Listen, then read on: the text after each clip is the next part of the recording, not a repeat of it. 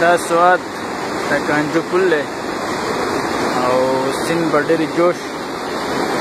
روان دی او هر څه یې درکړي دي الله دې نور خیر کړي